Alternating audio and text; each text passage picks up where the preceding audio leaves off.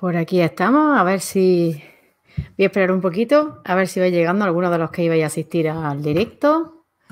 Voy saludando por aquí. Hola Raquel, por el Instagram. Y por aquí también voy, voy a ver, porque si no, no lo veo quién hay. Aquí. Aquí, muy bien. Decidme por favor si lo oí lo veis bien.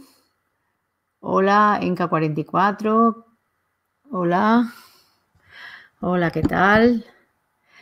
Necesitaría que me confirmarais los que estáis por aquí, por Facebook o por YouTube, que me confirméis si, si lo oís y lo veis bien. Supongo que en Instagram sin problema, ¿no? Vale. Bueno, pues ahora ya me vais diciendo si, si lo oís y lo veis bien. A ver, voy a ver. A ver, porque no sé. Aquí. Ay, vale, que no está viendo. Hola, Víctor. Ah, Víctor, sí, todo bien. Genial, me alegro. ¿Qué tal? Hola de nuevo por aquí. bueno, pues sigo. Hola, sí, se oye bien. Perfecto. Y lo veis también bien, ¿no? Vale, muy bien. Bueno, como siempre, pues como intento hacerlo en las tres plataformas a la vez, pues aquí estaré mirando para los que estáis por aquí, por el Facebook, por YouTube, y aquí tengo a los de Instagram, así que iré más o menos compaginando para atenderos a todos. ¿De acuerdo? Hola, Tom, Tom Yepe, sí, hola, que hola Adrián, vale, se oye bien, hola Eva, ¿qué tal? Muy bien, pues perfecto. Vale, bueno, pues os voy a ir comentando algunas cositas, como ya lo he contado en las historias de, Instagram y en el Facebook también las he puesto. Eh, voy a empezar una serie de directos que los voy a hacer entre martes y viernes. ¿De acuerdo? O sea, según, va a depender mucho de mi, de mi tiempo libre. Entonces, a veces lo anunciaré con tiempo, a veces van a ser los martes, otras veces van a ser los viernes. Por la tarde, ¿vale? El horario, pues, o bien será sobre las 4, 4 y media de la tarde o ya sobre las 7, 7 y pico. Mm, y entonces lo iré anunciando con tiempo. Y la idea es lo que he comentado en la historia. Eh, voy a ir hablando de diferentes temas, ¿vale? Muchos temas van a ser pues, relacionados a todo lo que voy a, a, a los diferentes posts que voy subiendo, tanto en Instagram sobre todo, como en Facebook, pues de esos temas que vaya hablando así cada semana, pues posiblemente el directo vaya también sobre eso. Entonces, la idea de los directos es ampliar un poco más esa información que doy en, los posts. Y sobre todo, que vosotros podáis hacer preguntas y, yo pues responderlas dentro de mis posibilidades. ¿De acuerdo? Esa sería la, esa es la idea. Y luego eh, también... Mm, lo, nuevo es que los que queráis, sobre todo eh, aquí en el Instagram, si alguien que quiere que quiera preguntar quiere entrar en el directo, solo tenéis que solicitar entrar en el directo, yo os doy acceso y así pues nos vemos las caras y no, no hablo aquí a una pantalla mirándome yo a mí misma, que la verdad que un poco gusta más cuando tiene a la persona o a las personas con las que estás hablando, las tienes enfrente. ¿Vale? Entonces, eso por un lado es la novedad para Instagram. Y luego, pues voy a ir haciendo, tengo ya una selección de personas porque quiero ir haciendo una vez al mes, quiero hacer un directo. Si pudiera hacerlo más frecuentemente lo haré, pero no sé si va a ser posible. Primero por mí y segundo, pues por las personas con las que quiero contactar. Vale, entonces voy a, elegir. Vale, tiene un sticker en las stories cuando pone asombro. Me encanta. pues yo lo he estado, eso me, me está diciendo Andrea eh, que, tengo un sticker, es que eh, me he hecho unos GIFs en el Instagram y yo los míos todavía no los encuentro, pero veo que vosotros sí lo habéis encontrado, así que genial. bueno, eh, lo que estaba diciendo, que la idea es mm, yo ir entrevistando a diferentes personas que sean referentes dentro de alguna especialidad, ya sea de algún deporte, de alguna de algún trabajo de utilidad, que se dediquen a algún tema en concreto dentro del mundo canino enfocado sobre todo al entrenamiento y al, trabajo con perros, ¿vale? Para que, pues bueno, nos cuenten su experiencia y, compartan pues todo lo que ellos saben si quieren y que también, por supuesto, puedan responder a vuestra duda. Entonces, la primera para mí es muy especial, ya he hablado con esa persona, él sabe quién es y es muy especial porque, porque bueno, a lo mejor no es conocido internacionalmente, pero creo que está haciendo una labor increíble, increíble, de verdad. Creo que os va a gustar mucho. Ya, ya lo anunciaré, ¿vale? Y como digo, pues voy a tratar diferentes temas. Quiero traer gente, pues eso, que sea de deportes, que sea de trabajo de utilidad, realmente del día a día, de terapia, de asistencia, de mm, eh, alerta médica, de rescate, de búsqueda, de diferentes deportes, ¿vale? Entonces, voy a ir viendo los que a mí me llaman la atención y los que creo que trabajan un poco más afín a mi forma de ver el entrenamiento con los perros y bueno, pues sobre eso, incluso hasta criadores. ¿eh? Yo también he estado pensando ya en algunos criadores o criadoras que para mí le están haciendo un súper trabajo y creo que es muy importante para todas aquellas personas que quieren tener un perro específico, pues para hacer un trabajo en concreto, el saber seleccionar muy bien mm, el criador, la raza y el criador. Bueno, pues vamos ya al tema que vamos, ¿de acuerdo? Eh, los que habéis seguido los posts, estos últimos posts en, mi Instagram o en Facebook, he puesto algunos, siempre pongo más cantidad de, de, información tipo contenido de valor más en Instagram que en Facebook. En Facebook voy poniendo, pero como que se me hace un poco más es más tedioso, ¿no? Y me gusta más pues, compartirlo más en Instagram. Ahora estoy moviendo mucho más Instagram, así que si no queréis perderos nada, seguid más Instagram, Fanny Training en Instagram, que es donde más voy a subir cosas. Pues como digo, en los posts de esta semana han ido más o menos encaminados a la idea de, de cómo hacer para que un perro, pues mm, eh, nos preste atención, ¿no? Y no nos preste atención en mi casa aquí tumbada en, eh, el sofá conmigo, no, no, nos preste atención en cualquier momento y sobre todo en esos sitios donde cuando vamos al exterior y el perro, pues bueno, pues le cuesta más, ¿vale? Entonces, hay dos cosas fundamentales que tenemos que tener en cuenta, ¿de acuerdo? Es, primero, le tenemos que dedicar al perro tiempo de calidad. No podemos pretender que nuestro perro eh, esté siempre pendiente de nosotros, súper atento y, viendo a ver qué le vamos, qué vamos a hacer, si realmente no hemos, hemos, dedicado un poco de tiempo y no hemos, sino que de forma mm, eh, diaria, ¿no? Semanal, pues. Mm, el perro ve y siente que le, dedicamos un tiempo de calidad. Entonces, al final eso mm, se va a ver recompensado. ¿Me explico? O sea, si se trabaja eso con el perro, al final el perro lo va, lo va a sentir y va a ver que realmente no es, no somos la persona que, que le da de comer y que lo sacamos a pasear, sino que además hacemos otras cosas muy interesantes para él. ¿Vale? Entonces le tenemos que dedicar, por un lado, tiempo de calidad, ¿vale? Que ahora iré especificando pues, ese tiempo de calidad a qué me refiero. Y luego, ese tiempo de calidad, la finalidad, ¿cuál es? Pues conseguir que nosotros seamos mucho más atractivo para nuestro perro ante otras opciones. ¿Y esas otras opciones cuáles son? Pues normalmente son pues distracciones de tipo de otros perros, ruido en la calle, niños jugando, zonas nuevas que vamos a conocer, ¿vale? O sea que si realmente el perro mm, le puede interesar mucho lo que hay fuera y, se lo esté pasando pipo, olfateando, jugando con otro perro, pero pero debemos de, intentar llegar a conseguir que en un momento determinado nosotros le digamos a nuestro perro, hey, venga, vamos, y nos mire como diciendo, guau, ¿qué, quieres? Que venga, vale, dejo lo que estoy haciendo y me voy contigo. Eso sería lo que cualquier persona nos encantaría conseguir y lo que deberíamos de conseguir, ¿vale? Entonces, primer punto que debemos de empezar a, lo que, el primer punto que debemos de empezar a trabajar, el juego y el entrenamiento en casa no fuera, sino en casa. Es decir, tenemos que primero en casa. Ay, hola. Ay, sí que me estáis saludando por aquí. Es que no os veo. Bueno, ahora os saludo a todos, ¿vale?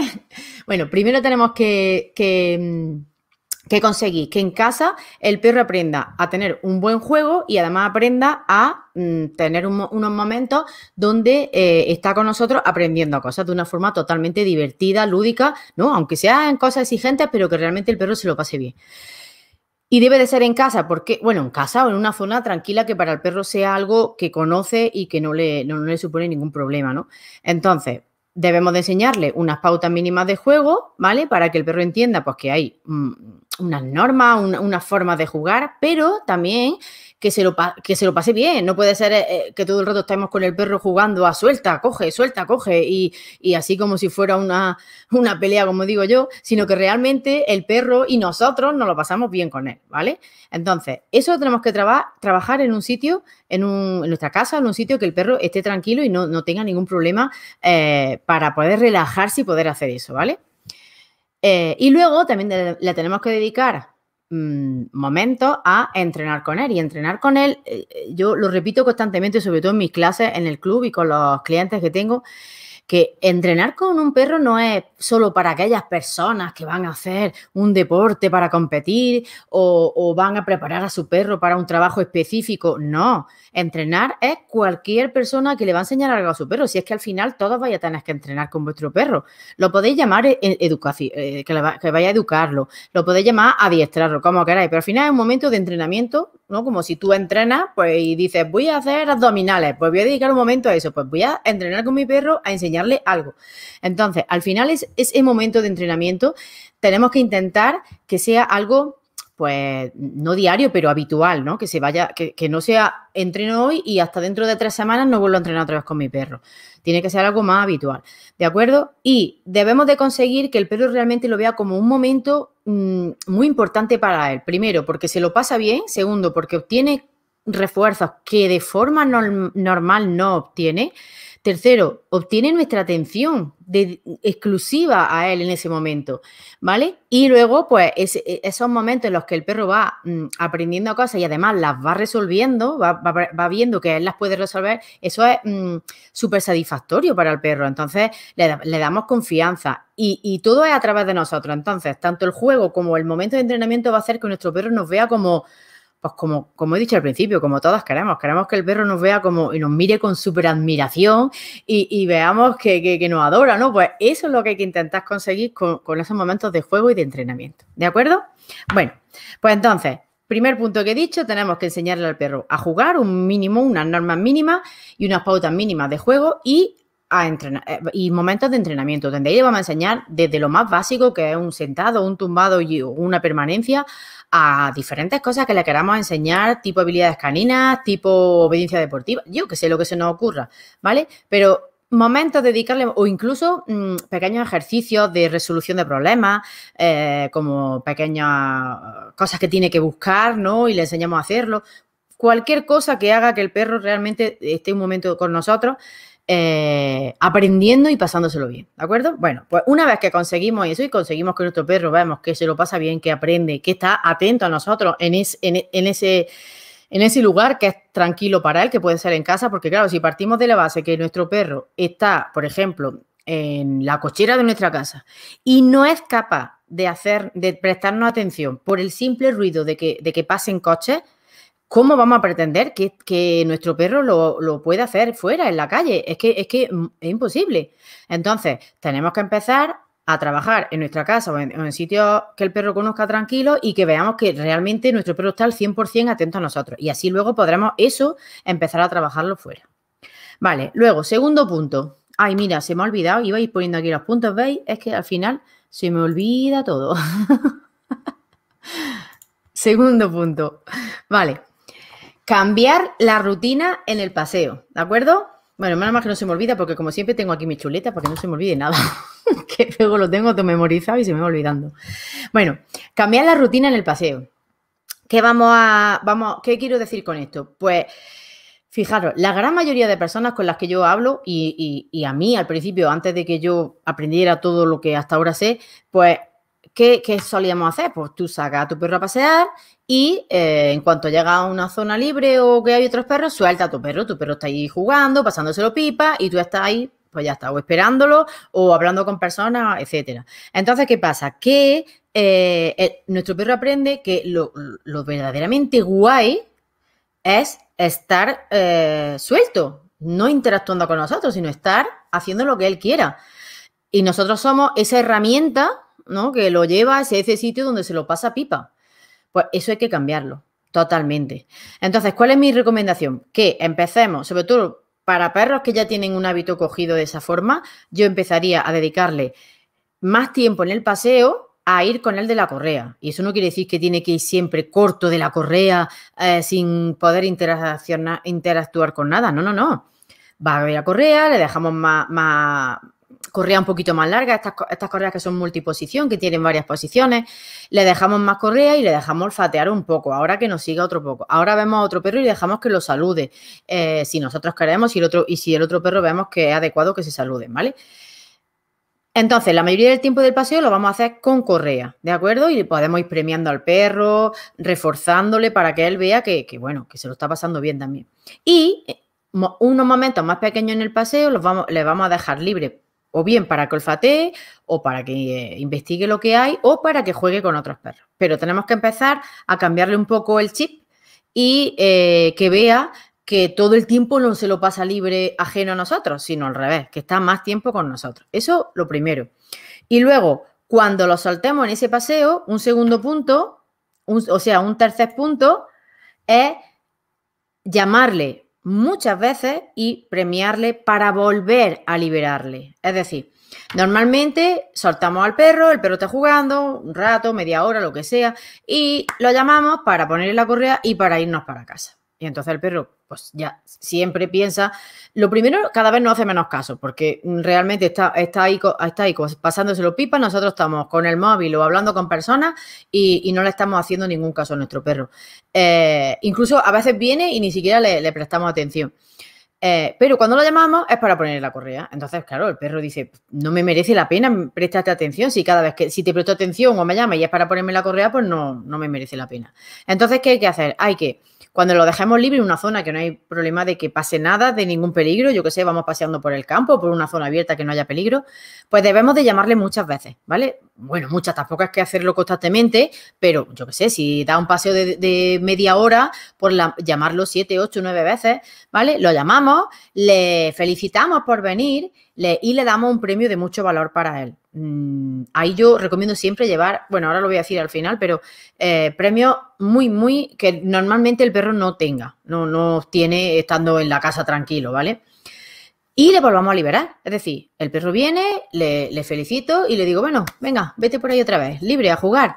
Y el, perro ve que, es guay prestarme atención cuando, o sea, prestarnos atención cuando lo llamamos porque ve que, que no le vamos a quitar la libertad, sino al contrario, le vamos a dar algo que le gusta mucho y además le vamos a volver a dar libertad. Pues ese es un punto súper importante. Si queremos que realmente el perro se dé cuenta de que, eh, de que eso, de que es interesante prestarnos atención. Por ejemplo, para perros que, que ya son muy pasotas del guía, de la, de la persona, ¿vale? Eh, yo recomiendo que en este ejercicio de llamada, pues que si no hay peligro, como digo siempre, de que no pase nada, carretera o etcétera, ¿no? O que el perro se vaya a perder, eh, pues escondernos, escondernos detrás de un árbol, detrás de una zona que no nos pueda ver, eh, para que el perro empiece a, mm, a darse cuenta de que tiene que mirarnos, de que tiene que estar pendiente de nosotros, porque si no podemos desaparecer. Eso es adecuado hacerlo con perros eh, pues eso, que, pasan un poco, que ya se han acostumbrado a ir mucho a su bola y pasan de la persona. Entonces, ese ejercicio está también muy bien. No es recomendable para perros que son un poco ansiosos y que están como muy pegados a, sus, a las personas, aunque a veces pasen, pero están como muy pegados porque les puede dar un poco de ansiedad y entonces ya tenemos otro problema añadido. ¿Vale? Bueno, pues ese sería eh, el tercer punto, el tercer, la tercera pauta que podéis hacer. Eh, hemos dicho la primera, para los que hoy llega un poco tarde, primera, jugar y entrenar en casa para dedicar momentos de calidad y que el perro realmente se lo pase bien. Cambiar la rutina en el paseo, estando al principio más tiempo de la correa y luego dándole más correa o incluso dejándolo libre, pero menos, menos proporción del tiempo, ¿vale? Esto, cuidado, esto lo digo ahora para, como digo, para perros que están muy habituados a, estar casi todo el tiempo del paseo libre y no están pendientes de, la persona, ¿no? Pero luego, conforme ya se va trabajando, por supuestísimo, si tú ya confías en tu perro y tú sabes que tu perro mm, al 100% o al 80% va a estar pendiente de ti, pues no pasa nada. Al, revés, yo recomiendo que se suelte al perro y que se le haga muchas veces llamadas y que casi todo el paseo vaya suelto, porque ya tienes un perro que está ahí por ti siempre. Mm, esto es al principio para que el perro se vaya habituando a eso, ¿vale? Y luego el tercer punto, como he dicho, el llamar y premiar muchas veces, ¿vale? Premiar para volver a liberar. Y una de esas veces que lo llamemos es cuando le volveremos a poner la correa. Cuarta pauta que podía hacer, pues ese juego que hemos estado trabajando en casa, en una zona tranquila, lo vamos a hacer ahora en esos paseos, en esos momentos en los que salimos fuera. Aquí es muy importante que tengáis en cuenta una cosa. Mm, como he dicho, eh, no podéis empezar, eh, si mi perro le cuesta trabajo concentrarse en casa conmigo, eh, porque estoy, yo qué sé, jugando o entrenando con él en, una cochera, en una habitación que da cerca de la calle, y si mi perro, vemos, veo que le cuesta mucho trabajo concentrarse, Entonces, eh, por esos ruidos, no puedo pretender que, en la calle lo haga, ¿no? Entonces, tengo que primero seguir trabajando un poquito en casa, subir el, valor de los refuerzos para que vaya cogiendo seguridad. Y luego hay que empezar con todos los perros, con un perro que en casa se concentre muy bien y esté súper atento. Hay que empezar en zona muy, muy tranquila. Sea, zonas de calle, zonas de exterior, pero que estén menos frecuentadas, pues por menos, que no haya gente pasando a cada dos por tres, ni mucho tráfico, ni muchos perros, ni muchos niños. No, no, zona hiper tranquila, súper tranquila. ¿De acuerdo? Para que el perro le cueste menos trabajo. Y ahora, en ese paseo que vamos a empezar a dar, en ese sitio, lo que hay que hacer es jugar al principio, porque otro error que se comete, como he dicho antes, es que llegamos a un sitio y voilà, soltamos al perro y bueno, y luego ya después intentamos, lo llamamos para intentar que venga. pues lo que hay que cambiar es eso. Yo que recomiendo que cuando, cada vez que empecemos, que vayamos a un sitio nuevo o, al sitio que el perro conoce, hombre, si tiene que hacer sus necesidades, lo llevo de la correa y dejo que haga sus necesidades, pero luego inmediatamente después no lo dejo suelto. No os recomiendo que lo dejéis suelto. Yo lo que haría sería jugar con él y sobre todo cuando llegas a sitios nuevos. Juegas con el perro y entonces, ¿qué pasa? Que el perro empieza a asociar una nueva localización, un nuevo sitio con juego contigo o después incluso con entrenamiento. Entonces el perro ya llega un momento que cuando eso lo haces en 2, 3, 20 sitios, el perro vaya donde vaya, va a estar pendiente de ti al principio. Luego ya cuando tú ya le dices libre te puede ir a jugar, porque hay que tener un comando de, que el perro entienda que, puede irse por ahí a jugar, pues el perro pues irá a olfatear, a investigar o lo que sea.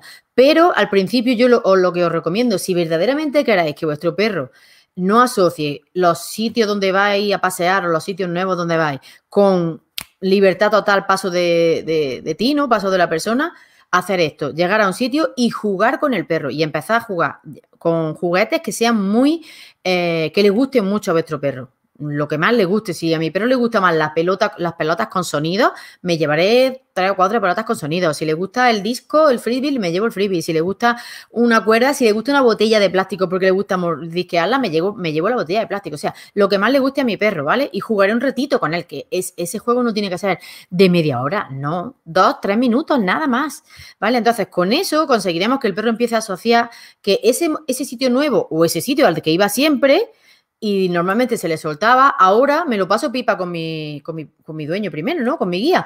Y ahora ya, después, además de premio, o sea, tiene doble premio. Es, llego a un sitio, juego, juego con, mi guía y, luego además él me da otro premio, que es que me deja libre para olfatear y para investigar. O sea que es, es doble premio, ¿de acuerdo?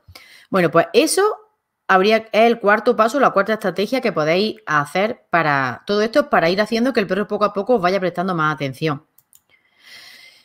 El quinto paso o la quinta pauta, pues entrenar en el paseo. Entonces, ¿qué haremos? Una vez que yo siempre empezaría primero con juego, luego puedo dejar a mi perro libre y luego poco a poco en un momento determinado, eh, o justo después de jugar entreno un poco con él, o lo dejo un poco libre, colfate, y luego entreno con él. Y entrenar me refiero a, nada, a lo mejor pedirle tres repeticiones de sentado. Pues le pido tres repeticiones de sentado, lo premio y le doy un refuerzo social que te muera, guau, qué bien lo ha hecho mi chico o mi chica, eres genial, guau, muy bien, y te dejo libre. Entonces el perro empieza a aprender que fuera en la calle también puede hacer cosas contigo y que tú le vas a premiar por ello. Luego llega el momento, cuando ya se entrena mucho con los perros, llega el momento que ya no hace falta premiar tanto, se premia de forma alternativa, incluso puede hacer un montón de ejercicios encadenados y que el perro no reciba premio, pero al principio tenéis que premiar mucho a vuestro perro pues, para, que, para que realmente el perro vea que sois algo súper interesante. Es verdad que hay casos de perros que es que ni con los premios ni con los juguetes, cuando están en el exterior, es como que desconectan y, tiran de olfato o están pendientes de otros perros. Bueno, pues a esos perros yo le pongo una correa larga que yo siempre pueda controlar al perro en ese momento. Y si mi perro mm, realmente es que no hace nada de nada, pasa de mí, pues tendré que irme a un sitio todavía más tranquilo para intentar hay que buscar la estrategia, lo que sea para intentar que mi perro sea capaz de ir a un sitio de exterior y que mi perro realmente sea capaz de, hacer algo conmigo, o juego o, entrenamiento. ¿Vale? Bueno, pues meteríamos esas pequeñas sesiones de entrenamiento que yo recomiendo que si, por ejemplo, imaginaros que hacéis un paseo de, media hora o de 40 minutos, una hora, yo qué sé, pues hagáis dos o tres sesiones muy, muy cortitas de entrenamiento con vuestro perro, ¿vale? ¿De acuerdo? Y luego lo volvéis a dejar libre. Seguimos. El sexto, la sexta estrategia o la sexta, pauta, ¿vale? Tenéis que alternar todo esto que os he dicho, pero además otros otros otros conceptos. Sería, alternaríamos momentos en el paseo, ya vamos a suponer no el paseo de que saca al perro a hacer sus necesidades y te viene a casa, no, sino los paseos de, realmente de, estar más tiempo con el perro. Eh, tendríamos que alternar momentos de juego, uno o varios, momentos de entrenamiento, uno o varios, Momentos de olfato donde el perro va con, la, va con la correa la mayoría de veces, ¿no? Sobre todo con perros que todavía no tienen esa atención todavía, pues con correa le dejo que olfatee y yo voy con él hacia donde él quiera para olfatear. Con perros que ya sí van avanzando mejor y están mucho más atentos, pues pueden estar libres y lo que le, dejamos libre para que olfatee. Momentos de libertad me refiero a, momentos en los que el perro realmente pues corra, juegue, eh, investigue siempre va a ser olfateando, ¿no? Porque ellos es olfateando. Pero cuando me refiero a momentos de olfato, me refiero a, que realmente vamos a llevar al perro a una zona, o bien a que él olfatee esa zona, o le puedo echar diferentes mm, trocitos de comida para incentivar a que, a que olfatee. Y el, olfato, si alguno habéis estado viendo los directos de estos meses atrás, y bueno, lo pongo muchas veces en muchos posts, el olfato es, la forma de que tenemos para que nuestro perro realmente se relaje y descargue estrés. Entonces, si no sale de él olfatear, pues puedo echar trocitos de comida en la hierba, eh, repartido por donde, en, el, en la tierra, entre hierba y eso, para que olfatee.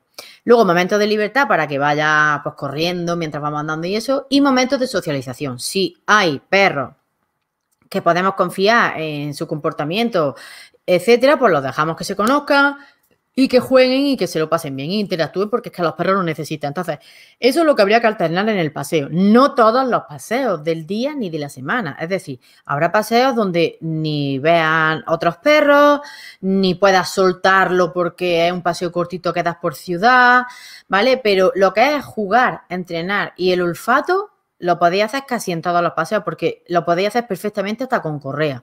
Con una correa larga podéis jugar un ratito con vuestro perro, entrenar un poco con vuestro perro y dejarlo faltear un poco. Y luego seguir andando con la correa eh, dando un paseo, ¿de acuerdo? En el caso de, de esos paseos que son más cortitos o que son más por ciudad. ¿De acuerdo? Bien. Y el último, la última pauta o la última estrategia, ¿vale? Es que os concienciéis a que tenéis que utilizar refuerzos de mucho valor. Si ya de por sí, cuando, cuando quiero enseñarle algo a mi perro, eh, en un momento determinado, mm, utilizo, lo digo por mí, o, en general, se debe utilizar refuerzos de mucho valor para que el perro realmente, pues, mm, eso se le quede muy bien grabado y la sesión de entrenamiento igual o cuando son conductas un poco más complicadas, más difíciles, pues vamos a utilizar un refuerzo más alto, o cuando ya hago encadenamiento o entrenamiento de competición, ¿vale? Para que el perro vea que, bueno, que le ha costado un esfuerzo hacerlo, pero va a tener una recompensa grande, ¿no? Pues lo mismo digo para cuando empezamos a trabajar este, este, este aspecto de la atención del perro. Debemos de, de tener estudiado qué, refuerzos son los que a mi perro más le gustan, porque bueno, hay perros que les da igual y que lo mismo se comen un trozo de salchicha que se comen un trozo de pienso o un trozo de queso, ¿no? Porque se lo comen todo por igual de bien. O perros que le encantan todos los juguetes, da igual el que sea, pero siempre, siempre si lo, si lo estudiáis bien y, y trabajáis con vuestro perro, al final daréis cuenta que hay algunos que le gustan más aunque todos les gusten, hay algunos que les gustan más y otros menos, tanto en la comida como en los premios. Pero es que luego además hay, otros perros que mm, son muy selectivos y, por ejemplo, juegan con un tipo de juguete de una textura determinada y con otros que ni lo quieren, ¿vale? O con la comida. Hay perros que, bueno, que cogen el queso y le vas a dar un trocito de, yo qué sé, de una chuche un poquito más dura, que no, no es el pienso, pero a lo mejor otro tipo de, y no lo, y es que se lo meten en la boca y lo escupen. Y eso ya depende del perro, ¿vale? Entonces, tenéis que conocer muy bien que tener como una, lista de esos premios de comida, de, desde el que más le gusta hasta el que menos, por lo menos tres o cuatro o cinco, ¿no? Así en una lista. Y lo mismo de juguetes, ¿vale? Eh, una lista de esos juguetes del cuál es el que más le gusta, el que menos, y el que, así hasta el que menos, ¿de acuerdo? Si eso lo tenéis, lo vais a poder utilizar en esos momentos en los que estáis trabajando la atención de vuestro perro, ¿de acuerdo? Porque si yo, por ejemplo, me voy a, una zona eh, ya mi perro me va prestando un poco de atención, pero resulta que me voy a una zona con un poco de distracciones, pero imaginaros que aparecen distracciones muy fuertes. Pues si tengo un reforzador muy valioso para mi perro, pues lo mismo consigo incluso que me preste atención. ¿Entendéis? O sea, mm, el problema que veo en la, en la mayoría de, las personas eh, que vienen con sus perros, pues a educarlos, sobre todo particulares, que no, tienen conocimiento en plan así, ni quieren hacer ningún deporte ni nada de eso, es que eh, quieren que su perro trabaje por una bolita de pienso y que lo haga en cualquier lugar, en cualquier momento, y, y, no, y eso no es así, ¿vale? Eso no es así. Tenemos que eh, hacerle ver al perro que, bueno, que si yo ahora le estoy enseñando algo más complicado, pues le voy a dar un premio de más valor. Si, si ahora estoy trabajando en un sitio donde yo sé que mi perro le va a costar por las distracciones, pues le voy a dar un premio extra o más cantidad o de más valor. No tiene que ser que le tengo que dar ahora jamón, no. Puede ser que si de normal en, algo le doy un premio mm, por ejemplo, imaginaros que eh, llamáis a vuestro perro porque, yo qué sé, porque hay allí a lo lejos más perros y la habéis llamado y ha venido. Y de normal, pues no suele venir, pero ya estáis trabajando este ejercicio de atención y viene. Pues yo no le daría un trocito de salchicha y ya está. Yo le, haría una fiesta. Yo a, mi perro le, le, cantaría, le bailaría y le daría un montonazo de premios. ¿Para qué? Para que mi perro recuerde que por haber venido se le quede ese recuerdo de, wow, Dios mío, mm, mira lo que me ha caído, ¿no? Entonces, mm, no va, no, no, ¿cómo se dice? No me sale la palabra. No infravaloréis el valor de los premios. Es muy importante. Eso no quiere decir que muchas personas pues me acaban diciendo, es que siempre voy a tener que ir con premios, siempre tengo que ir con los premios, con el perro. No, llegará un momento en el que no te harán falta o los llevarás dos o tres premios y, le darás dos o tres premios en todo el paseo si se los da, ¿vale? Porque ya tienes un perro atento a ti y que en un, la gran, gran mayoría de, veces no, no, va a haber ningún problema en cuanto a atención y a que venga cuando lo llame y a que, que sea capaz de concentrarse contigo, etcétera, etcétera. Luego ya, otra cosa son los problemas conductuales, eso no lo vamos a tratar aquí porque eso es diferente, ¿vale? Pero un perro que no tiene problemas, eh, que sea capaz de eso, de, centrarse en ti, de, prestarte atención, de, que sea capaz de hacer algo cuando tú se lo pides, eso se puede conseguir, ¿vale? Si se, si se trabajan todas estas pautas y si le dais mucho valor a esos premios. O sea, tenéis que realmente eh, pensar que, no es lo mismo pensarlo por vosotros, ¿vale? Ellos son animales, son más instintivos y, es como más fácil, pero pensarlo por vosotros eh, o por nosotros. Mm, si yo sé que por hacer un trabajo me van a dar 50 euros en vez de 10, pues vamos, me esfuerzo y hago todo lo posible. Y, pero si yo recuerdo que la última vez me esforcé y me dieron el mismo premio o menos cantidad de premio, un premio más malo que otras veces, o me, dieron menos dinero, pues el perro dice, pues no me merece la pena, ¿entendéis? O sea, tenemos lo que he dicho al principio, si le dedicamos momentos de calidad es para conseguir competir con esas otras opciones que hay fuera, porque nosotros somos una persona, así que el perro al final tiene vínculo con nosotros y nos quiere y nos adora y vamos a presuponerlo y nosotros también. Pero fuera hay una serie de estímulos que nosotros no los vemos, ni los vemos algunos y, no sabemos ni qué están. Ellos lo están olfateando en todo y saben lo que hay. Entonces no podemos pretender que, que si no lo trabajamos, que nuestro perro esté ahí al 100%, porque va a haber muchas más cosas fuera que nosotros sin verla y sin detectarla, pues están ahí y están haciendo que nuestro perro no sea, sea, incapaz de prestarnos atención. ¿Entendéis? Bueno, pues estos son los siete puntos, las siete pautas, las siete estrategias que yo recomiendo, ¿vale? Para...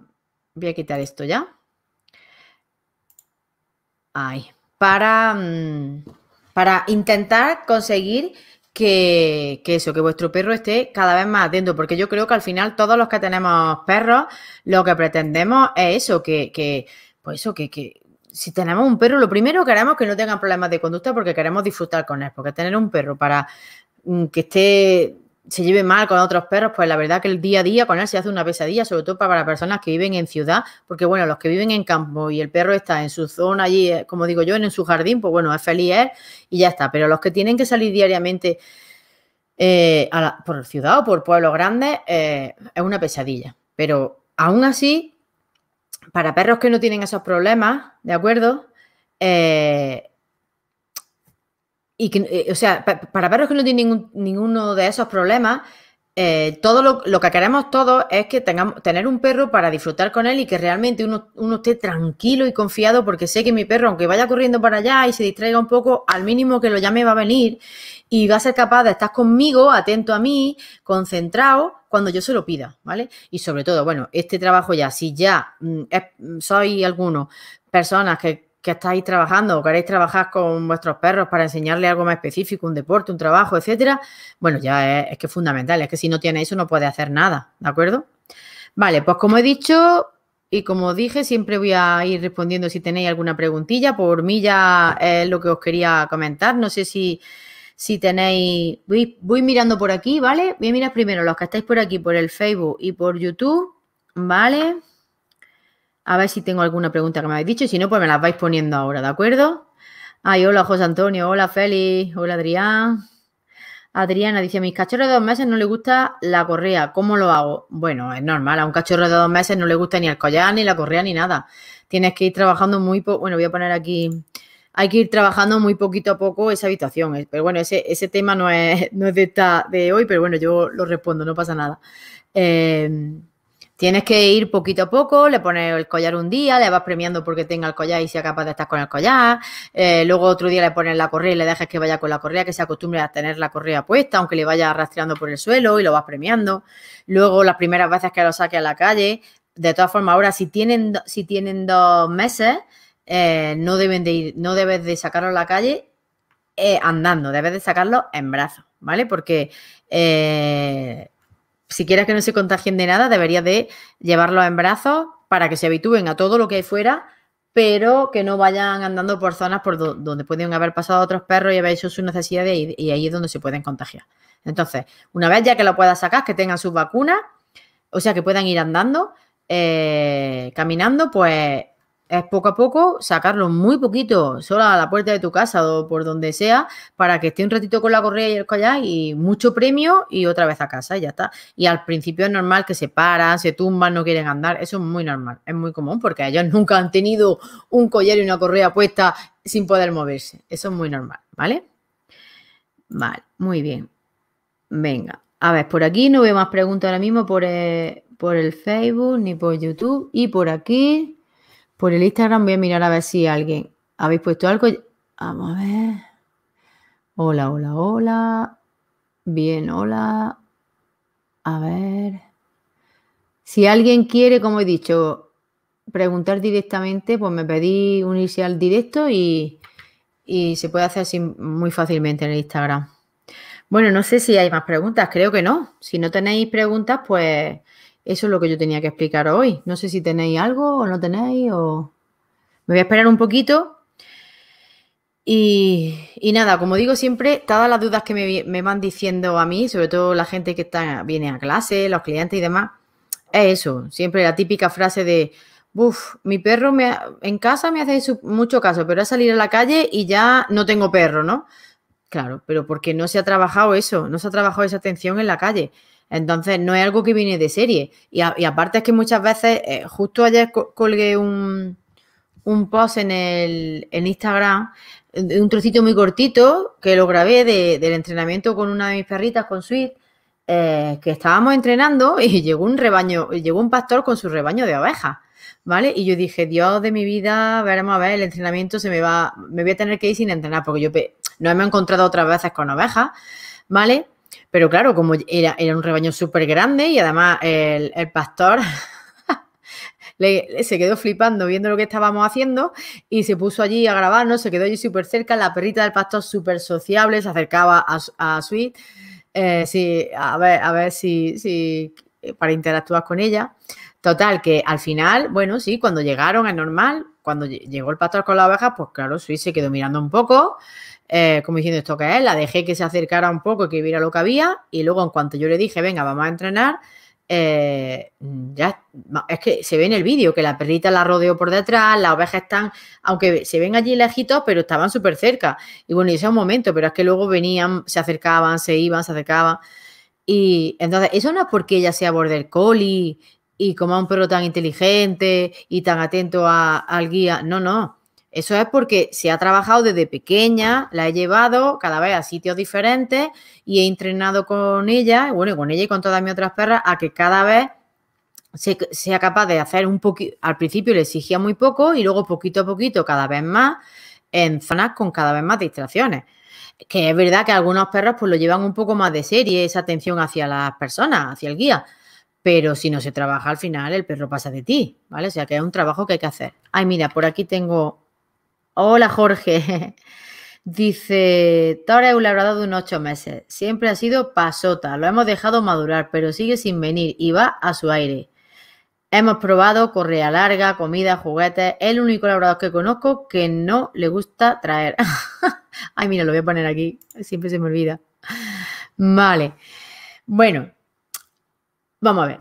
Esa frase que has comentado de lo hemos dejado madurar, pero sigue sin venir. Es decir, ¿con eso qué quieres decir? Que la has dejado, que no has trabajado con él eso desde pequeño, que la has dejado hacer lo que quiera Mm, no lo sé, ¿qué quieres decir con eso? Si la has dejado durante mucho tiempo eh, ir a su aire, pues claro, ahora le cuesta más. Entonces, como he comentado aquí, pues deberías de empezar en casa, en zonas tranquilas, a iniciar esos momentos de juego y de entrenamiento para que el perro empiece a conectar contigo y que después sea capaz de poco a poco hacerlo fuera. Lo que no puedes pretender es que si durante ocho meses le has dejado como que, como digo yo, a su aire eh, madurar, porque yo trabajo con mis perros, trabajo desde que tienen, mm, bueno, las que he criado en casa desde que nacen, porque le estoy haciendo las estimulaciones y luego sigo con ella entrenando, pero las que han venido de fuera, como Keiwa, como Magia, eh, desde que llegaron a casa mm, ya estaban haciendo cosas conmigo, porque yo no puedo dejar que el perro vaya a su aire,